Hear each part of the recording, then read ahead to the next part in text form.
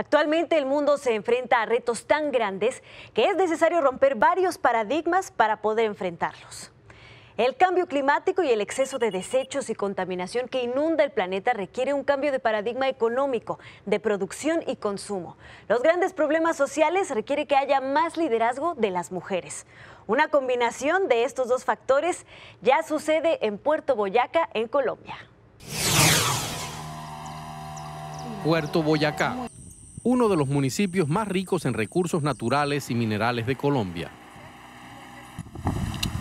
Dora Sierra ha nacido y vivido desde siempre en la Ciénaga de Palagua, un humedal de enorme valor ambiental para cientos de especies que habitan en esta región del río Magdalena Medio.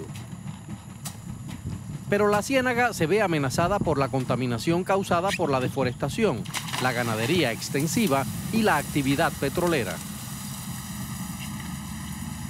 Este es uno de los focos contaminados más grandes de la carga orgánica que llega de la zona de la industria ganadera. Y más adentro, ya en la ciénaga como tal, pues ya está la industria petrolera, que la carga de los, de los pasivos y algunas, algunas aguas que se llegan a filtrar.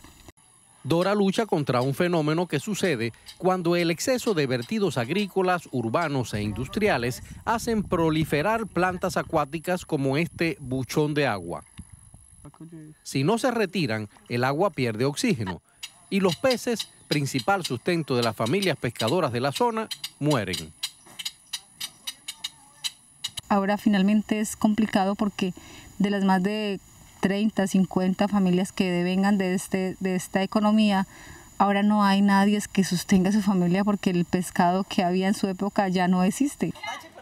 Su labor limpiando la ciénaga ha inspirado a otras líderes como Stephanie Grajales, quien a través de las llamadas Escuelas del Buen Vivir busca empoderar a las mujeres de Puerto Boyacá. Es con el fin de que las mujeres puedan tener las herramientas necesarias para poder incidir en la toma de decisiones de lo que se requiere en el territorio, de lo que se requiere en el barrio, de inclusive lo que se requiere en su familia. Stephanie Grajales se prepara para una campaña electoral.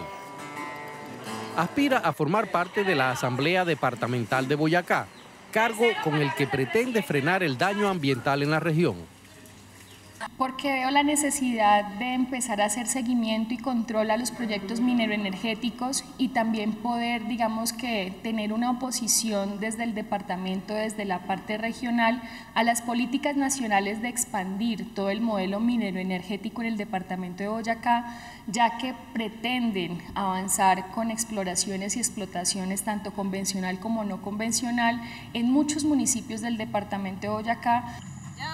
Dora, por su parte, continúa con su solitaria labor de limpieza de la ciénaga de Palagua.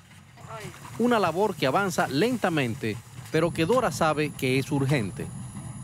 Este tipo de compromisos con, nuestra naturaleza nos hace sentir que se puede cambiar la historia. Las mujeres consideran que convocar a más mujeres de Boyacá a las acciones de liderazgo tendrá un resultado sostenible porque durante tanto tiempo no pasó nada y lideraron los hombres.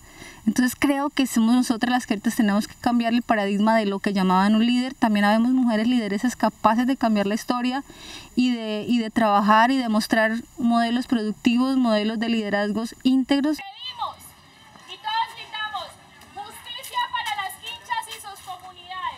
Mujeres como Stephanie y Dora están convencidas de que el liderazgo femenino es vital para solucionar los problemas de su región, para cambiar el pensamiento individual por el colectivo y poner el bien común por encima de los intereses particulares.